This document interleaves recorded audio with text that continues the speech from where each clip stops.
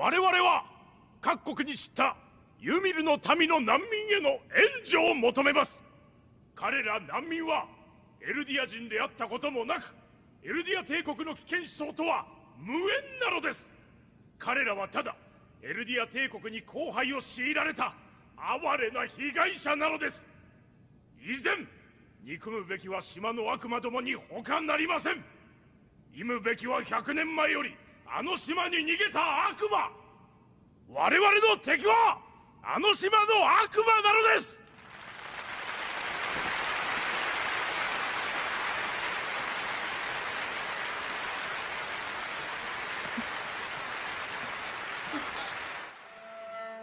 あの日から